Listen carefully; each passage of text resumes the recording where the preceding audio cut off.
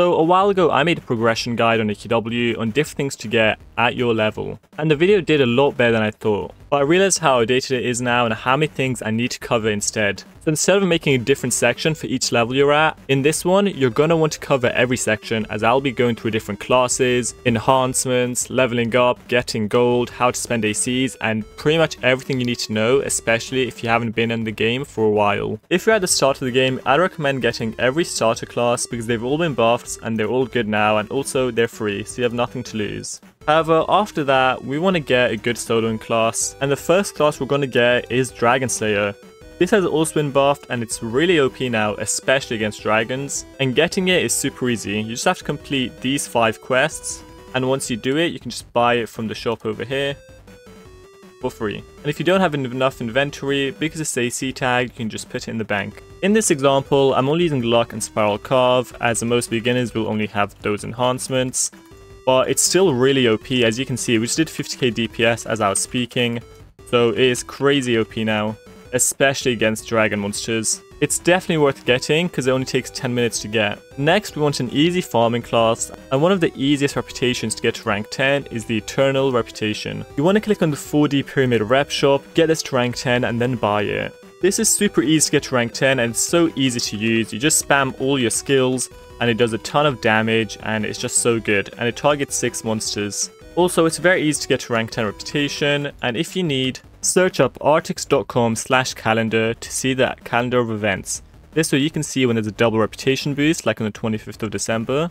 Click on it and it shows how long it lasts and all the info you need. This way you can make your farming twice as easy. After a while, you'll want to improve your soloing class and also your farming class. So the next soloing class we get is Cryomancer. So you want to go to slash join frozen ruins and there's kind of a long storyline here. Complete it, then 5 daily quests and you can finally get the Cryomancer class. With only 5 daily quests, it's actually a really easy class to get now and definitely worth it, elite soloing class. As for most of these classes, I have made a guide on it on YouTube, so just search up and check the combo and enhancements. And after this, we want to get another farming class. Now this is where it gets a bit tricky. Once you're at mid game slash later game farming classes, you're actually going to want a ton of them because they're all good in different situations. Farming Arcangrove Reputation can be a pain, but it also has one of the best farming classes, Shaman. Pair this up with Mana Vamp and you'll be good to go in pretty much any map, huge damage and also very good HP. It can also be used as a soloing class, but I wouldn't recommend it. Other farming classes you can check out are Master Ranger in Slasher Sand Sea.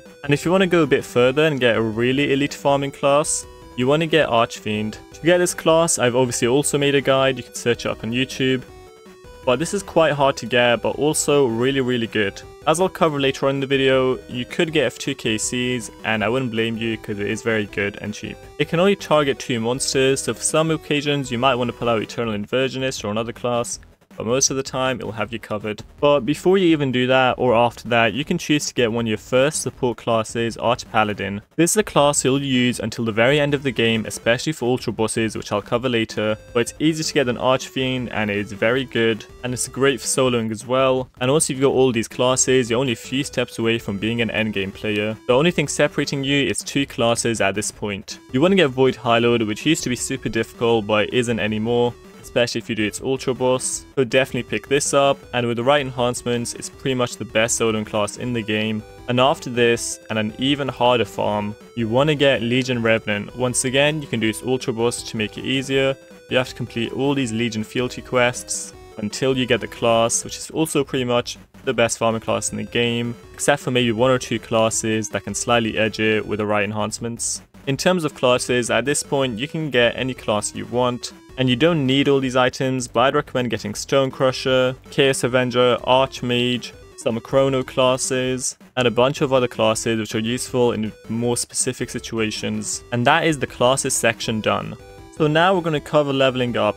Now I'm not going to give you suggestions on like what level you need to be to farm here, but rather how strong your farming classes are. If they're really weak, at the start of the game you want to farm a slash join firewall over here, they're pretty easy to kill and they give a ton of XP, especially if you turn in these. Now, with all of these areas, you do want to have someone helping you and that would be most convenient, but if you don't, you're just going to have to tough it out and go ahead. Now, once you're strong enough, you want to go to Slasher and Fire Plane War, go to this room, kill these three monsters, and turn in your War Medals and uh, Mega War Medals once you're done. You also have some quests here you can accept. Now, before you go any further, I should remind you, you do want to get an XP boosting item. The easiest to get in the game is at Slash Join River. You walk across until you get to the treasure chest, the chest shop, and you want to get Shadow Blade of Despair, which gives you 20% extra XP. If this is too low for you, you can get the Blade of Awe, which also has a 25% XP boost. Not the exact blade itself, but another weapon in the same merge shop.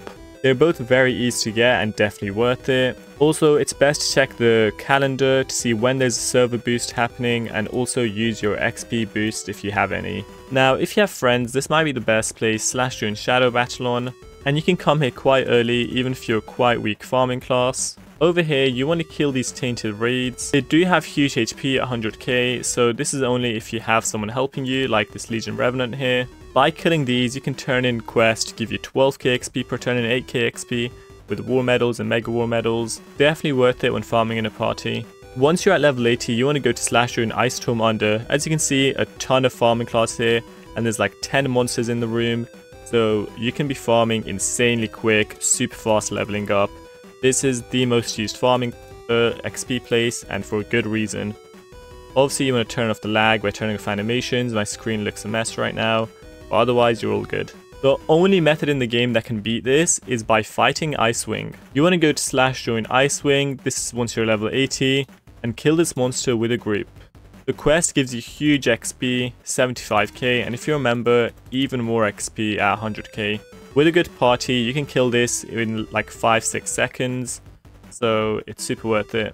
Now, once you level 60, you can actually do ultra bosses. Click on ultra quests over here, slash your ultra Ezrajal, 500k XP, and once again 500k. These are absolutely huge and can also be used for gold farming. Like I said, a lot of these things need a good party or friends, and you can find these in my Discord server, link in description.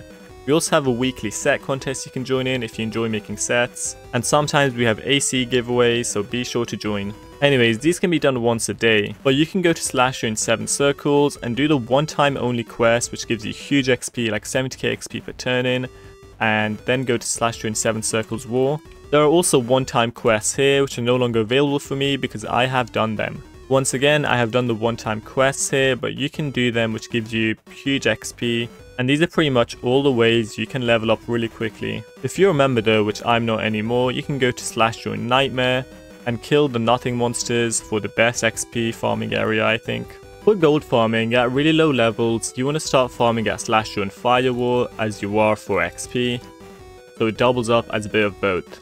And over here, obviously you want to turn in these war medals here and here, which with a gold boost can give you like 10k every 5 seconds so it's actually really good with the party.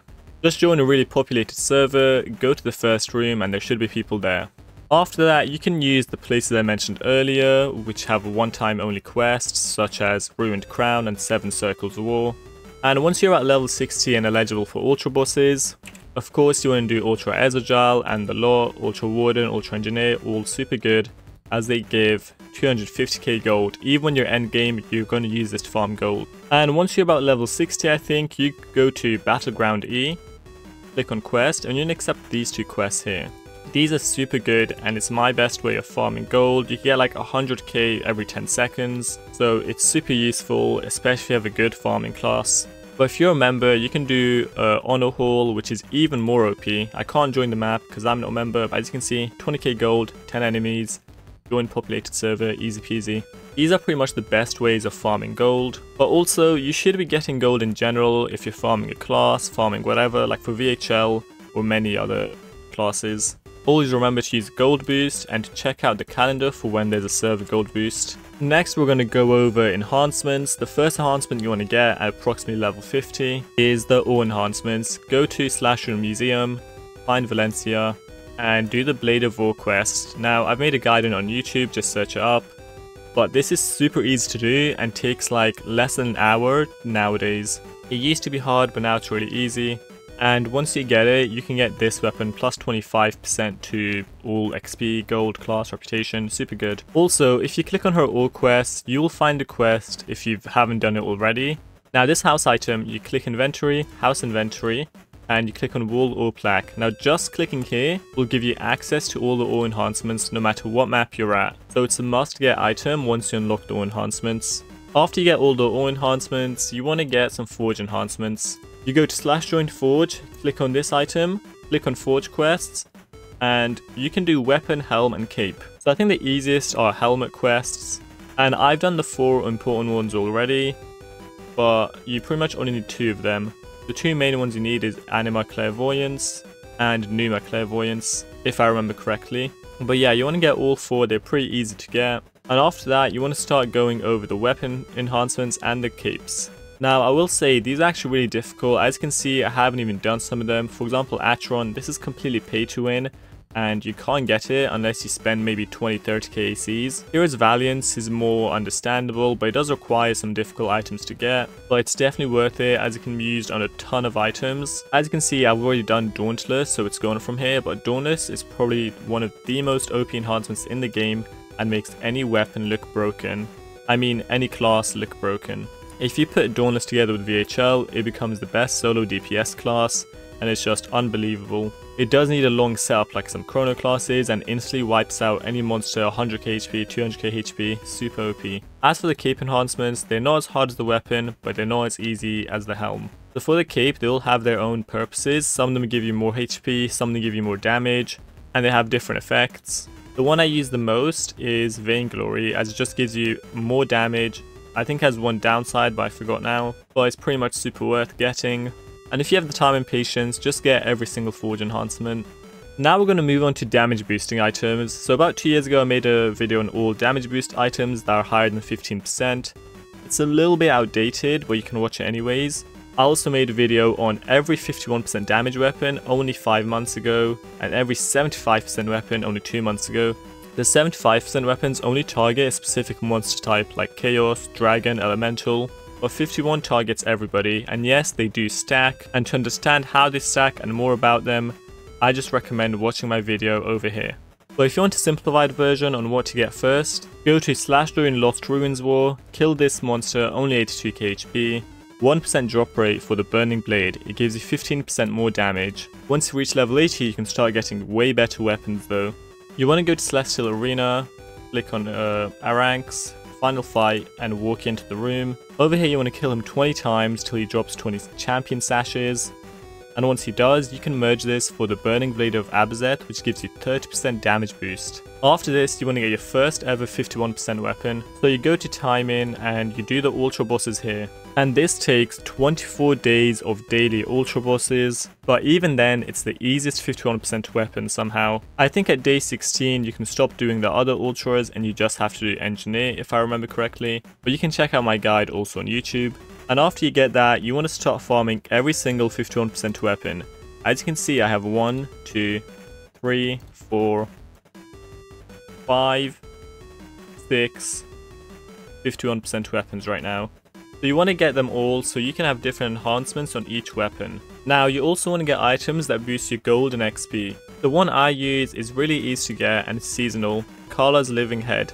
I think it's available around August, so quite a long time away, but you can get the Head of the Legion Beast. Now this is actually pretty difficult and will take you some time, but it is worth it because of the extra gold, XP, reputation and so on.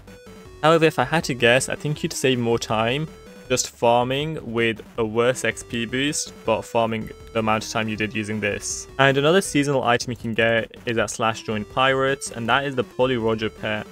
This pet doesn't take up your weapon slot or your armor slot, and it gives you 30% damage against all these different races. Super worth it, had it for years, it's a must get once it's around September. And finally, the best ever boosting item for XP you can get is Ascended. You go to Slash Museum and you want to go to the crossroads and click on Trissa. As you can see, this is the Ascended armor. It gives you 50% reputation, 30% gold, and 50% class points. So it's really long and difficult to get, however, it does have huge boosts and that makes it kind of worth it. The next thing we're going to cover is Ultra Bosses. So pretty much every Ultra Boss has something useful to give you and in Timeinn it is the Exalted Apotheosis. In Ultra Nulgath it is Raw Ingeniums for VHL. In Ultra Dage it's to give you tokens for Legion Revenant. In Ultra Tyndarius, you get a good 75% weapon over here, and it's also needed for other stuff. And there are plenty more Ultra bosses, and they're all very good at giving you something.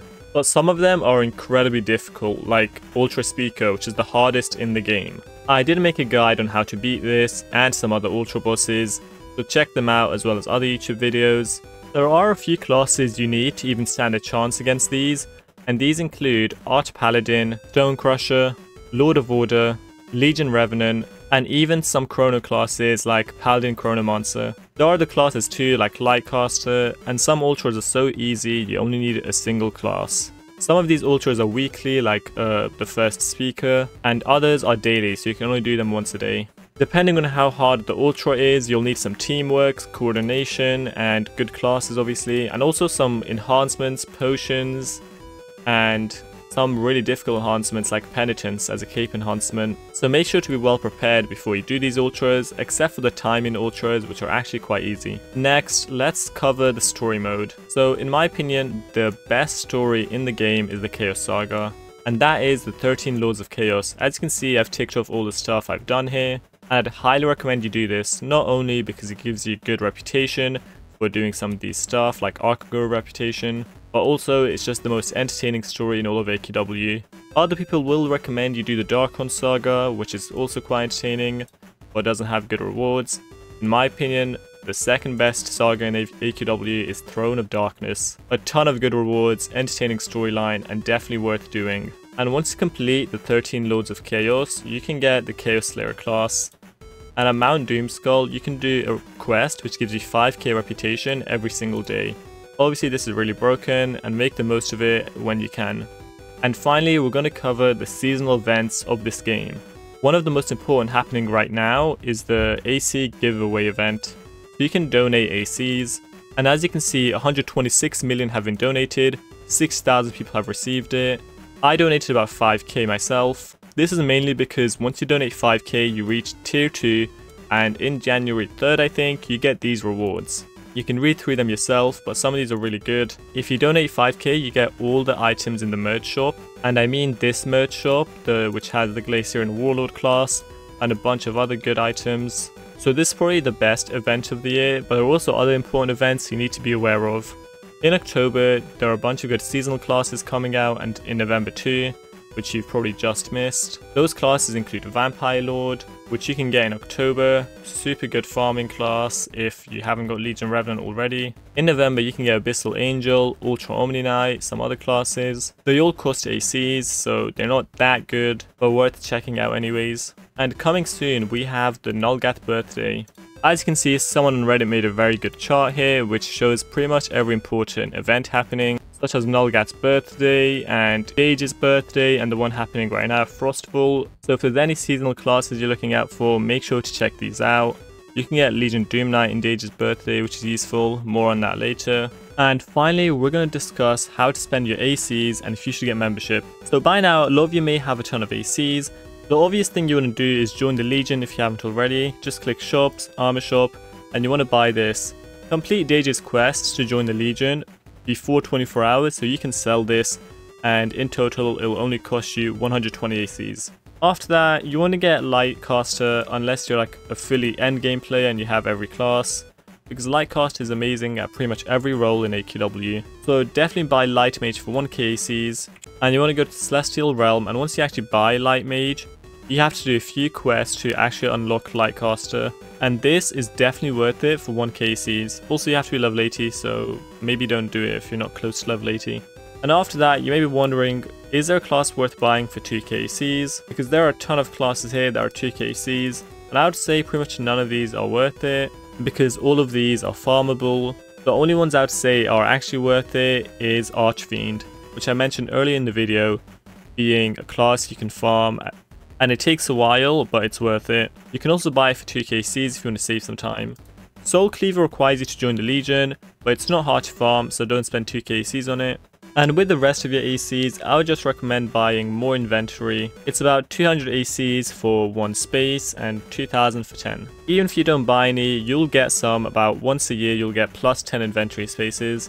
This happens around October, November, I think. And that's the only reason I have so much inventory space. And finally, you can just buy loads of cool cosmetics. Like if you look at this month's 10k chest, there are actually some really cool items here and if there's any that you really like, just buy it. You can farm pretty much all the good classes in this game and once you have them, the only things really worth spending money on are some really good cosmetics. For more extended research, you can watch my video on best 2KC classes. This one is outdated, so watch my more recent one, which was made about 4 months ago. And finally, in terms of buying membership, I would say buy it. Membership in AQW is definitely worth it, at least for the first few months.